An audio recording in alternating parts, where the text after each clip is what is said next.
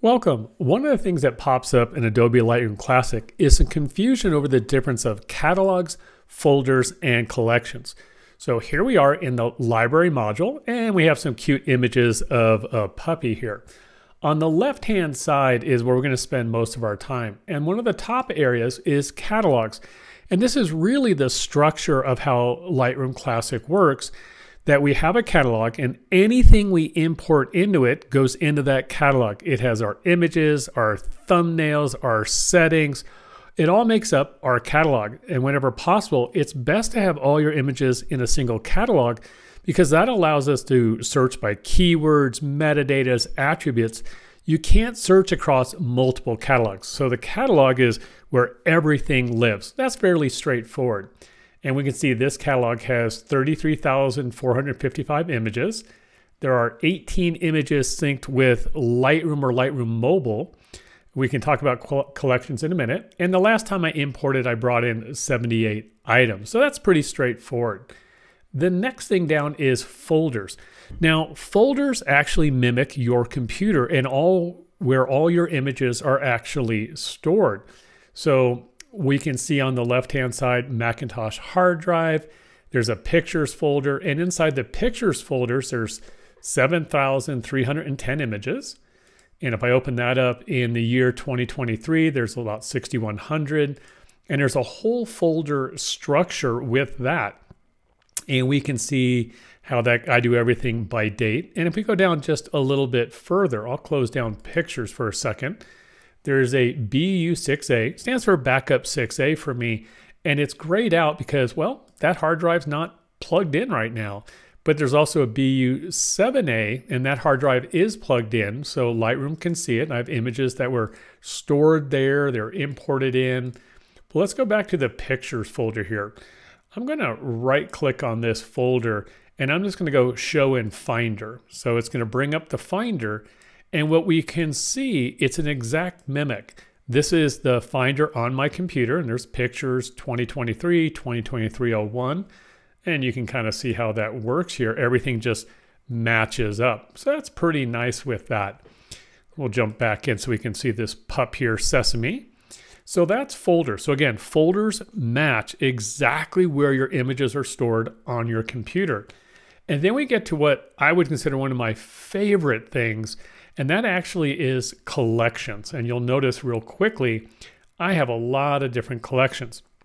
Now, collections are great because when you move something into a collection, it's not duplicating the image, it's just kind of making a reference. So let's set by an example here. I have a collection and I'm going to say, let's create a new collection and it's going to be a, oh, it's an article of puppies for a magazine. And I could add a name to it and I don't want to include the selected ones right now. So I'm just going to create a new collection and goes by alphabetical. So there it is, puppy collection down here. And there's nothing in it. As you can see, there's nothing in that folder. Now I'm going to jump back up to my pictures and I'll jump over to Sesame here. And I can say, you know, this is a pretty darn cute image. So I'm going to drag this into that collection. I'm going to close a few things down. And let's see, Puppy Magazine. I'm going to put this one in there. And now there's one image in there. And there's got to be a few other cute ones. I like this one quite a bit. So we'll drop this one in. And it just so happens that I was helping out a local shelter yesterday. So I'm going to jump into Cinnamon because Cinnamon's another cute pup from a local rescue. And I'm going to bring in this image and just going to drag that over. So the nice thing is I haven't duplicated any images on there. It's just if I want to use these for magazines. But here's a great thing. I could also add this image of a puppy, let's say, to a slideshow. So well, I'll just add this into, well, it's not macro, so I'll just put it in under feet. So now that image is in two collections. So you can have an image in as many collections as you like coming from anywhere in your different folders, anywhere from your different collections. So let's click on that collection here. So I just have those three images.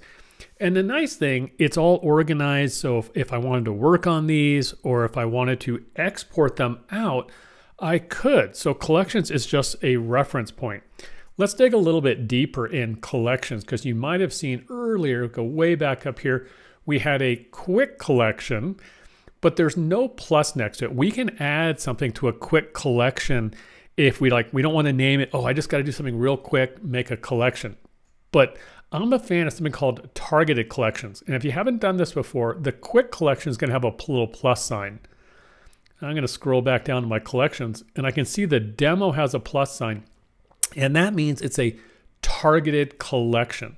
If I scroll over an image and I'm even in a collection, there's a little circle up here right there where my mouse goes in that corner. If I click on it, it goes into a targeted collection. So I'm going to come back down here to Puppies Magazine.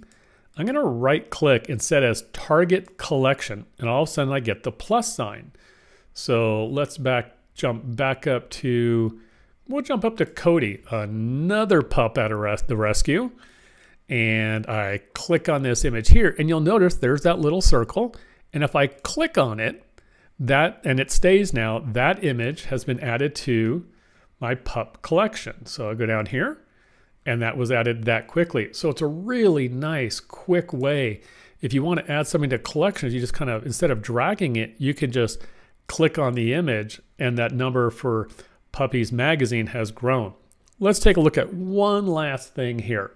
So in collections, these are normal collections, but I've got these other things that look like, well, little card catalogs or albums, and that's what they are. They're actually albums.